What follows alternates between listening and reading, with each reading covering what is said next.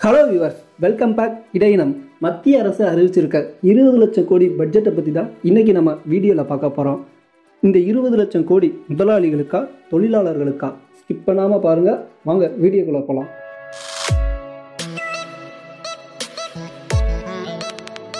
உலகத்தையே புரட்டி போட்டிருக்குது கொரோனா வைரஸ் உலகத்தில் இருக்க எல்லா அரசும் தங்கள் மக்களோட பசியாற்றதா தங்களோட முதல் கடமையாக செஞ்சுக்கிட்டு இருக்காங்க. சரிவுக்குள்ளான பொருளாதாரத்தை மீட்கிறதுக்காக ஒவ்வொரு அரசும் பல திட்டங்களையும் தீட்டிக்கிட்டு இருக்காங்க. அமெரிக்காவில் ஒவ்வொரு மாதமும் ஆயிரத்தி இரநூறு டாலரும் குழந்தைகளுக்கு கூடுதலாக ஐநூறு டாலரும் அந்த நாட்டு அரசு கொடுத்துக்கிட்டு இருக்காங்க.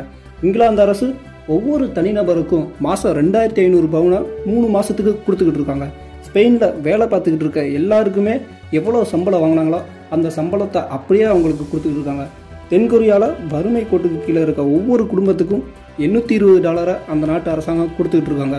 நார்வே கவர்மெண்ட்டு மாதத்துக்கு நானூறு டாலரும் ஜப்பான் கவர்மெண்ட்டு தொள்ளாயிரத்தி இருபத்தெட்டு டாலரும் கனடா கவர்மெண்ட்டு ரெண்டாயிரம் டாலரும் பிரேசில் நூற்றி இருபது டாலரும். இப்படி பல நாடுகள் தங்களோட மக்களோட கையில் பணத்தை கொடுத்துக்கிட்டே இருக்காங்க.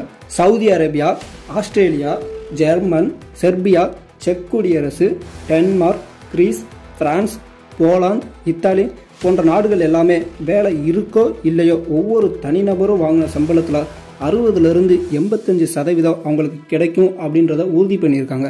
சரி மற்ற நாடை விடுங்க. இந்தியாவை பற்றி பார்ப்போம். கோடிக்கணக்கான தொழிலாளர்களை கொண்ட நாடு இந்தியா. இருபது லட்சம் கோடியில் மாபெரும் திட்டங்களை தீட்டி இருக்கிறதா சொல்லிக்கொள்கிற இந்திய அரசு மக்கள் கையில் பணத்தை சேர்க்கறதுக்கு ஏதாவது திட்டத்தை தீட்டி இருக்குதா அஞ்சு கிலோ அரிசியும் ஒரு கிலோ கொண்டக்கடலையும் தாரோம் அப்படின்னு மத்திய அரசு சொல்கிறாங்க இதுக்கு கையில் பணம் கொடுக்கலாமே அப்படின்னு நிறைய பேர் கேள்வி எழுப்பினப்ப எங்களுக்கு எது சரின்னு தோணுச்சோ அதைத்தான் நாங்கள் செய்கிறோம் அப்படின்னு நிதியமைச்சரும் பதில் சொல்கிறாங்க சரி புலம்பெயர் தொழிலாளர்கள் நடந்தே செல்ற அவலநிலை இன்னும் தொடர்ந்துக்கிட்டு தான் இருக்குது இருபது லட்சம் கோடி செலவு பண்ணுற அரசு இவங்களை இலவசமாக ஏன் அனுப்பக்கூடாதுன்னு கேள்வி எழுப்புனா நீங்களும் அவங்களோட சேர்ந்து பேக்கை தூக்கிட்டு நடங்கன்ற ஏளனமான பதில் தான் மத்திய அரசிட்ட இருந்து வருது. இன்னைக்கு பொருளாதாரம் ஏற்ற இறக்கமாக இருக்குன்னு தெரிஞ்சும் நீங்கள் தான் உங்கள் சொந்த காலில் நிற்கணும்னு மத்திய அரசோட பதில் இன்னும் வேடிக்கையாக தான் இருக்குது பொதுத்துறை நிறுவனங்கள் தொடங்கி விண்வெளித்துறை அணுசக்தி துறை வரைக்கும் தனியார் மயமாக்கப்படும் அப்படின்னு மத்திய அரசு சொல்லியிருக்காங்க. பல பன்னாட்டு நிறுவனங்கள் வானத்துக்கு பூமிக்கும் சந்தோஷத்தில் குதிச்சுக்கிட்டு இருக்காங்க.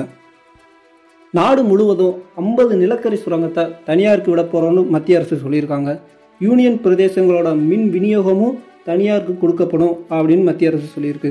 இராணுவ தளவாட உற்பத்தியில் அந்நிய முதலீட்டுக்கான அனுமதியை நாற்பத்தொம்போது சதவீதத்திலிருந்து எழுபத்தி நாலு சதவீதமாக அதிகரிச்சிருக்கணும்னு சொல்கிறாங்க புதுசாக ஏர்போர்ட்டை தனியார் நிறுவனங்கள் தொடங்கிக்கிறலாம்னு சொல்லியிருக்காங்க.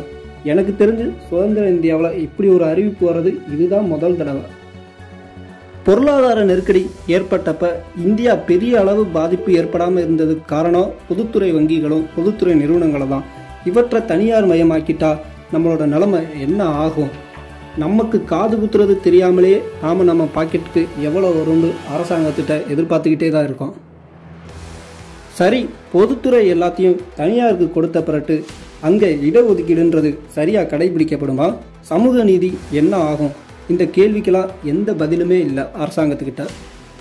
இந்த பட்ஜெட்டில் நாம் முக்கியமாக பார்க்க வேண்டியது அதாவது சிறு குறு தொழில் எம்எஸ்எம்இ என்று சொல்லக்கூடிய அந்த நிறுவனங்களுக்கு எல்லாம் மூணு லட்சம் கோடி அளவுக்கு அடமானம் இல்லாமல் கூடுதல் வங்கி கடன் வழங்கப்படும் அப்படின்னு நிதியமைச்சர் சொல்லியிருக்காங்க.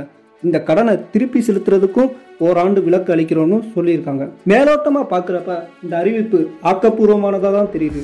ஆனால் மொத்த சுமையும் வங்கிகளோட தலையில் சுமத்திட்டு மத்திய அரசு தப்பிச்சுக்கிறதா பார்க்குறாங்க கடன் கொடுக்குற அளவுக்கு வங்கிகள் கிட்ட போதுமான பணம் இருந்தாலும் கூடுதல் வங்கி கடனை ப்ராசஸ் பண்ணுற அளவுக்கு வங்கிகள் கிட்ட போதுமான பணியாளர்கள் கிடையாது. கடனை வாங்கி யார் அந்த கடனை முறையாக திருப்பி செலுத்துகிறாங்களோ அவங்களுக்கு தான் மேலும் மேலும் கடன் கொடுத்து வங்கிகள் கடன் கொடுக்கக்கூடிய இலக்கையும் அடைகிறாங்க ரெண்டாயிரத்தி பதினாறில் ஸ்டார்ட் அப் இந்தியா திட்டம் கொண்டு வரப்பட்ட போது தேவைப்படுவோருக்கு கடன் கொடுக்காமல் கடன் யாரெல்லாம் முறையாக கட்டியிருக்காங்களோ அவங்களுக்கு கடன் கொடுத்து தான் இலக்கை எட்டினாங்க.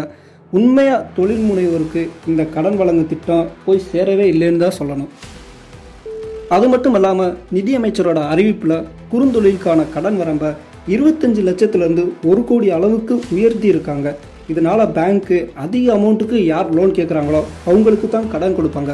பெரும்பாலும் நலிவடைந்த நிறுவனங்களுக்கு வங்கி கடன் மறுக்கப்படுவதற்கான வாய்ப்பு தான் அதிகமாக இருக்குது பணக்காரங்களுக்கு மட்டுமே பணம் கிடைச்சா அவங்க மேலும் மேலும் பணக்காரர்கள் தான் ஆவாங்க. ஏற்கனவே ஒரு பக்கம் வாராக்கடனும் வங்கிகளுக்கு அதிகமாகிக் கொண்டே அது மட்டும் இல்லாமல் பெரிய பெரிய முதலாளிங்கெல்லாம் கடன் வாங்கிட்டு வெளிநாட்டுக்கு வேற தப்பிச்சு போயிடுறாங்க. ஸோ வங்கிகளை வற்புறுத்தி தான் கடன் கொடுக்க சொல்கிறாங்க அப்படின்னு ஒரு கருத்து இருக்கு.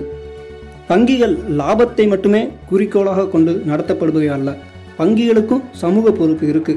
வங்கிகள் நிறுவனங்களுக்கு வழங்கக்கூடிய கடன் வசூலிக்கக்கூடிய வட்டி வங்கிகளுக்கு கடன் கொடுக்க தேவையான பணம் இது எல்லாத்துக்கும் தகுந்த வழிகாட்டுதலை மத்திய அரசு உருவாக்க வேண்டும்.